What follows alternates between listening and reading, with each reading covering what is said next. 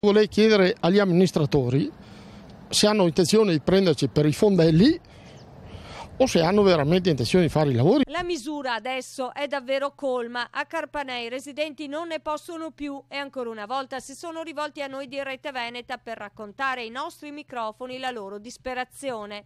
I lavori di asfaltatura iniziati qualche settimana fa sono stati bloccati a causa di perdite nelle condotte dell'acqua.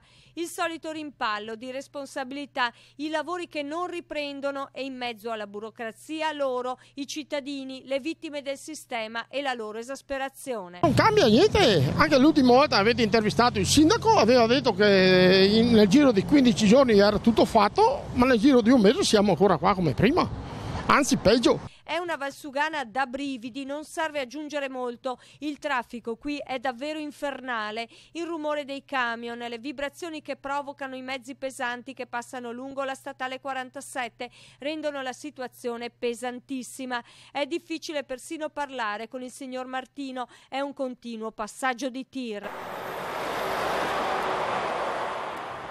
Immaginate di dover vivere lungo questa strada tra le più trafficate e pericolose d'Italia. Ora i residenti sono pronti a passare dalle parole ai fatti. Troppi anni sono passati e troppe promesse. Adesso è il momento di dire basta. Di fronte alla stazione del treno c'è un passaggio pedonale, andiamo tutti là e continuiamo a attraversare la strada così non passa più nessuno. Blocchiamo il traffico e vediamo cosa fanno. Eh, non so cosa dobbiamo fare o, o, dobbiamo metterci qua con un picco a fare i buchi in mezzo alla strada noi, così poi eh, qualcuno verrà a fare qualcosa. Eh, non so, che ci dicano loro cosa dobbiamo fare.